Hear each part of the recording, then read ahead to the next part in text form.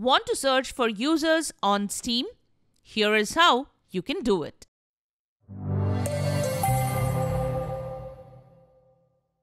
This is the Windows Club. Steam has gained a lot of popularity among the gamers community not only for its gaming features but the features to add friends and build community. Here we have shown how you can search for Steam users. Let's get started. Method 1.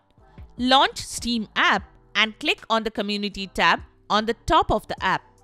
You will then see Find People with a search box under it. Search for people through it and click on Add as Friend if you want to be friends with them. Method 2. Launch Steam app and click on Friends after hovering onto your profile username at the top left of the application. Then click on Add a Friend in the left side panel. Then scroll down the page to find or try searching for your friend. Search for users in the search box. You can search for users or friends on Steam using the Friends tab in this way. Method 3.